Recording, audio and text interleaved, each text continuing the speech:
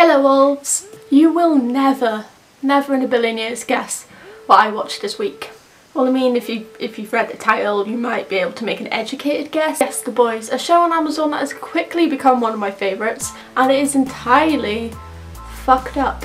The show is completely fucked up. The show is definitely not for people that prefer their superheroes on the lighter side. The show is of course based on a comic book written by Garth Ennis who wrote Preacher so you can kind of tell his type of style. the comic book is arguably more fucked up than the show. I say arguably because we're only on season 1 and they can pack a lot more into season 2.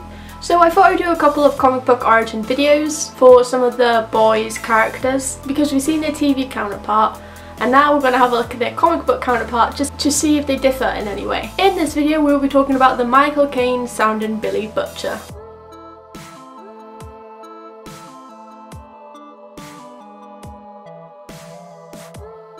Billy Butcher, who prefers to be called Butcher, was a Royal Marine and was happily married to his wife Becky. His childhood was hard, his father was an angry man who abused and tormented his mother. This led to Billy hating his father, and this childhood moulds him into the man he is. After noticing that he and his wife had gained some distance in their marriage, Butcher wakes up in the middle of the night to find his wife Becca dead next to him. Her body had been disemboweled by a baby, a superpowered baby that attacks Butcher with its heat vision. Butcher disposes and honestly that is the nicest way to put what he does to this baby. The loss of his wife shatters him. Billy reads his wife's diary which is a serious breach in privacy and I really hope she didn't hide it under her pillow like mine is. In the diary it actually states that she was sexually assaulted by a superhero known as the Homelander. Enraged and wanting revenge for his beloved wife, he becomes a member of a team called the Boys. He was recruited by the leader Mallory. The whole point of the Boys is to keep superheroes in check and to eliminate them if needed. So the team consisted of Mallory, Mother's Milk, Frenchie and of course Butcher. After the team breaks up, Butcher wants to reassemble his team but he needs a new member to replace Mallory, who refuses to return due to his granddaughter's death at the hands of Lamplighter, all because of his involvement in this group. Butcher took an instant shining to Hughie Campbell. Seeing the similarities between them, both his wife Becca and Hughie's girlfriend Robin were killed by superheroes. He also notes that he always wanted a little brother. Butcher also has a loyal companion in his bulldog named Terror, who he is extremely protective over. He actually had a small cameo in the show, like a five second cameo in one episode. That's it. Sorry, I don't know if we're going to get more next season or, or maybe he lives with Becky, I don't know. All of the boys, including Billy and Hughie, have been injected with Compound V. Uh, something that hasn't happened in the show uh, that we know of, maybe this has happened to them, maybe they are actually superheroes and were injected when they were babies, I don't know, we don't know this yet.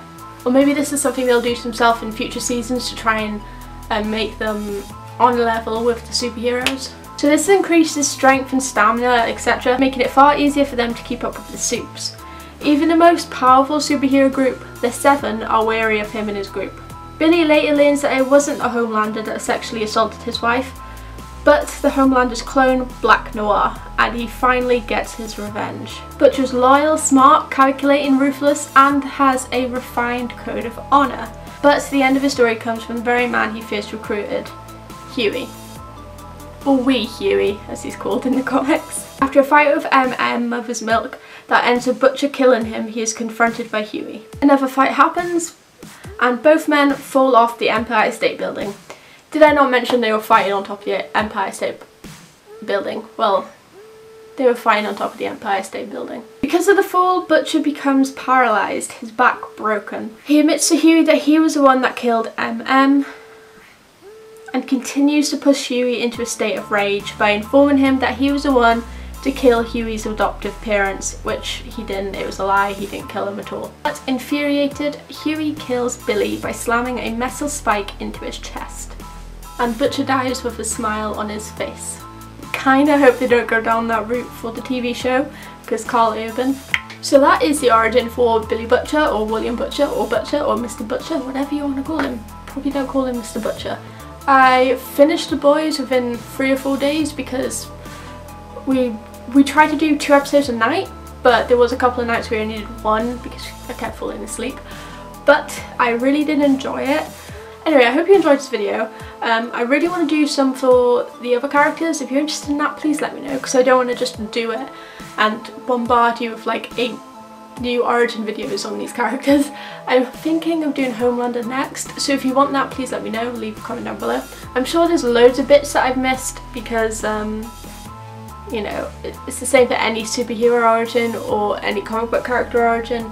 There are going to be huge chunks that I miss because I can't recite every single issue that this person or animal or object has been in and I apologise for that but it's just a way of life.